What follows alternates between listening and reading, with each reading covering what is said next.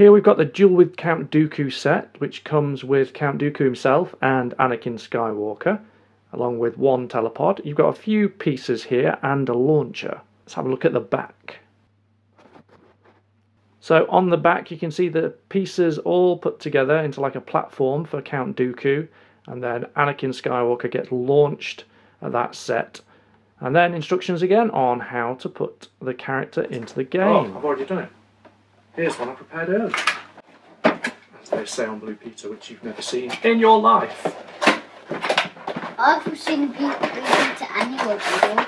There's a blue, there's a Blue Peter annual. before. Is there? Ah, Yeah. that's something. Yeah. Thing. Is that the first launcher we've got?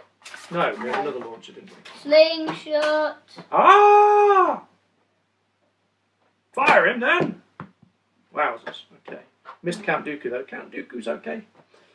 Brilliant. Let's get rid of this packaging. And some bits of the set. Fire. Now we're going to look at all of these in close up.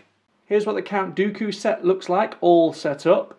Count Dooku perched upon his platform, awaiting Anakin Skywalker's strike. Let's see whether I can make this work.